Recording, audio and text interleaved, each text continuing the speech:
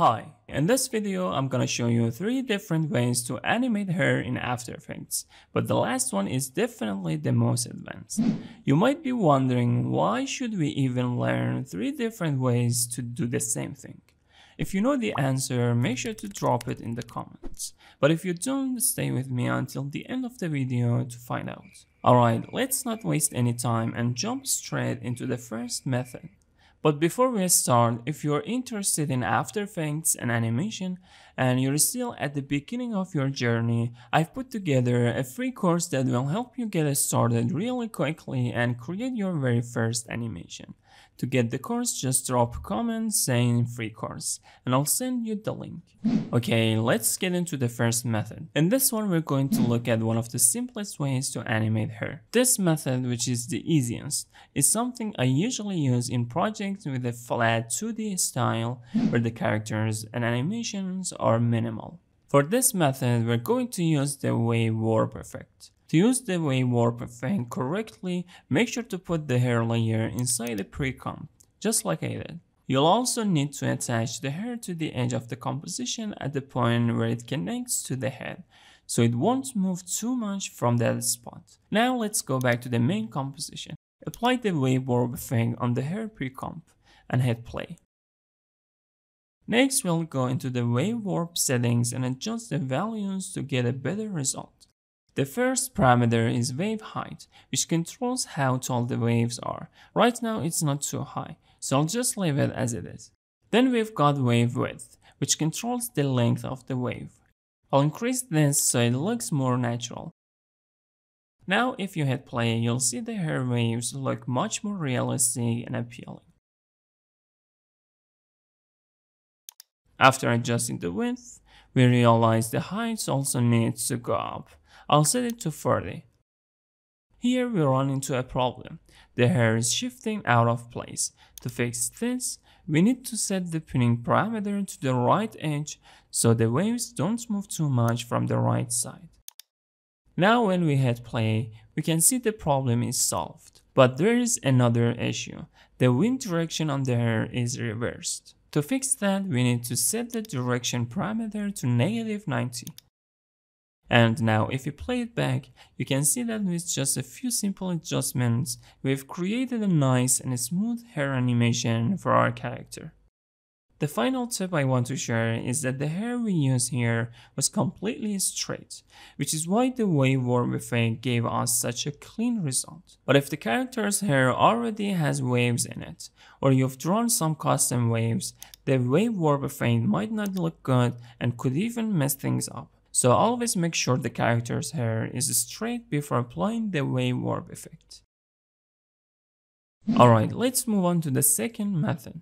In this method, I want to talk about animating individual hair clusters. This method is useful when the character's hair isn't volumetric and is designed as separate clusters, and I usually use it when I want to control each hair cluster individually. For this we're going to use a script called Puppet Hair which is free and very easy to use in After Effects. To use this script, you first to place it in the script folder inside your After Effects installation. Then to animate, I need to select a hair layer. I've placed all the hair layers inside one composition. So I go to the composition and create pins for each cluster.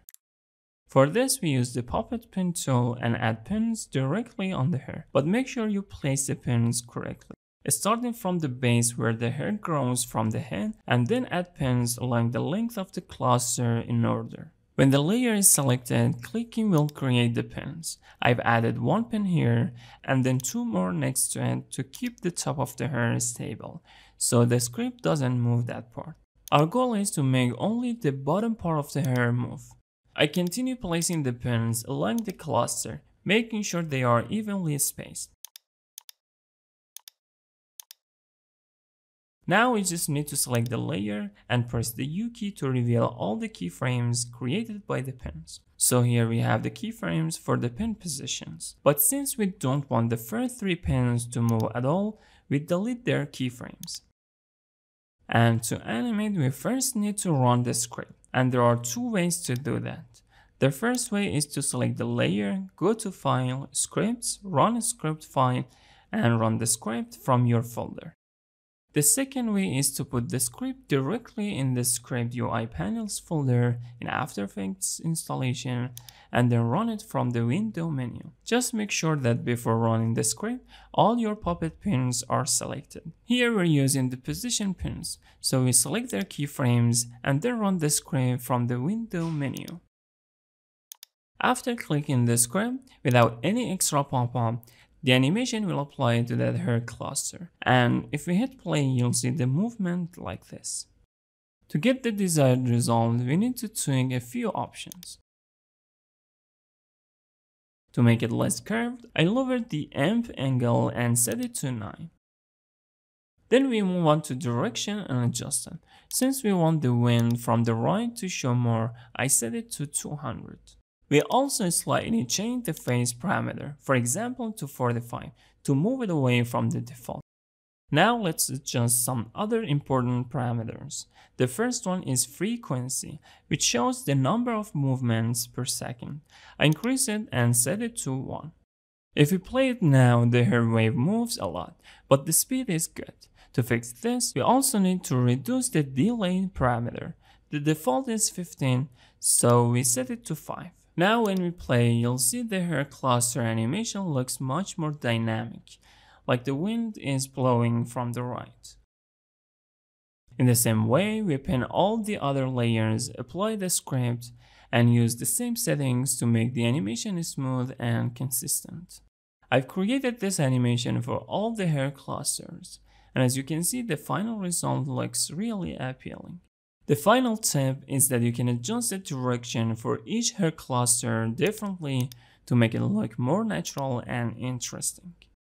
Alright, let's move on to the third method. This method gives a similar result to the second one, but it's for when you want to control all the hair clusters together without adjusting each one separately. In this method, we'll introduce a new script which is also free. The name of this script is Hair Rig, and it works with puppet pins, making it perfect for hair clusters, though its settings are a bit different, which we'll go through together. Here I have a character whose hair clusters are placed separately in individual layers. We're going to pin each one and then apply the script to every cluster. For example, I select one hair layer and then grab the puppet pin tool to start placing pins. Just like before, we start from the base of the hair and place the pins along the hair in order.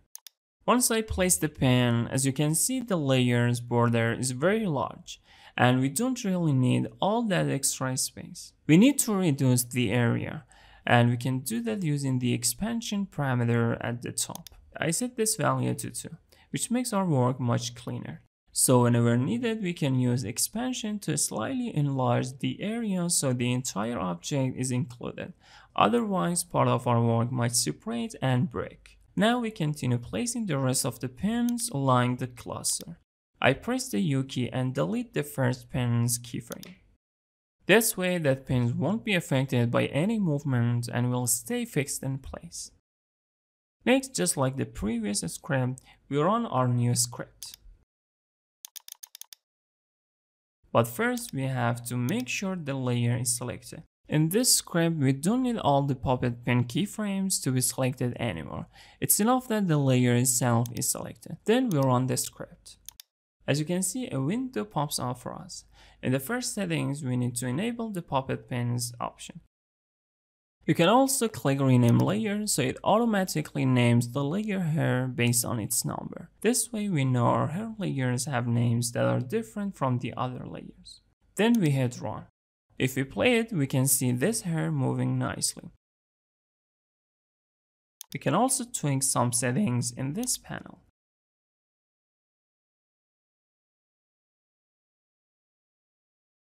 Besides adjusting each layer individually, the script also creates a new layer called Master HR Controller, which controls all the hair layers at once. Through this layer, we can adjust some settings for all clusters together. And this makes our work much easier. We can apply this script to all hair layers and then adjust everything just through this master layer. So before applying those adjustments, I pin all the hair layers first. Then apply the script to them and move on to exploring the script settings more.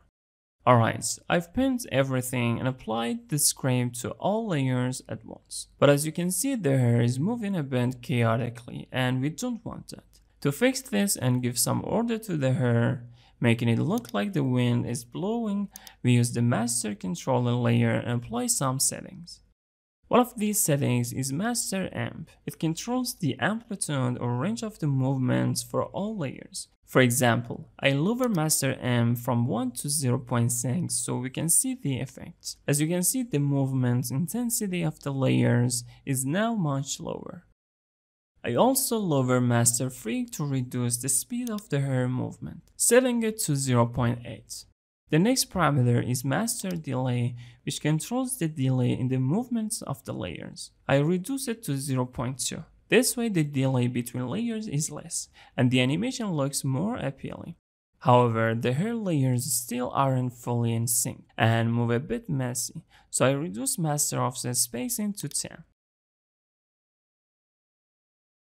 Now if you play it, you'll see the timing between the hair layers is much tighter, making them move in a more coordinated way and the result looks much better. Now let's move on to the hair at the back of the head. To animate this hair, it's better to put it inside a separate pre-comp. This makes it easier to move later if needed. Another reason is that we already have a master layer whose settings affect all layers, and we don't want to impact it. I put this layer in a new comp using Ctrl Shift C. Alright, to start we first place the pins. I select the layer and pick the puppet pin tool. Now I start creating the pins. Now that everything is set up, we just need to apply the script. But before that, I'll delete the keyframes of the first three pins. Then I select the layer and apply the script from this panel.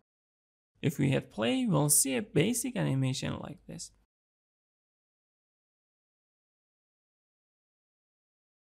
To make the hair animation have more wave, we need to work with two parameters. First, we just lower the master freak a little. For example, set it to 0.8. Then we increase the master delay, changing it from 1 to 2. Now we just hit play and watch this exciting animation together. There's one more parameter that's worth introducing, and that's master fall off. If you remove its keyframe here and increase its value a little, you'll see that the wave and curvature in our hair shape become more pronounced. So whenever you want the hair to have more bend, after adjusting the master fall off, make sure to tweak the master delay again to get a proper result. This is a key point of this script, so pay attention to it. I can also slightly increase the master amp. For example, set it to 1.2 so the range of movement is bigger. Alright, our work is now finalized. I go back to the main comp and reduce the layer size a little. I open the scale and set it to something like 88.